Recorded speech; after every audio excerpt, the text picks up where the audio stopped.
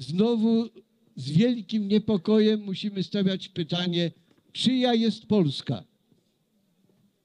Czy polskiego narodu, który od samego początku tworzył swoje chrześcijańskie wymiary życia i który ma korzenie chrześcijańskie i bez chrześcijaństwa nie może siebie zrozumieć? Czy jest Polska, czy Polska jest własnością jakichś lewicowych czy nawet lewackich specjalistów od inżynierii społecznej?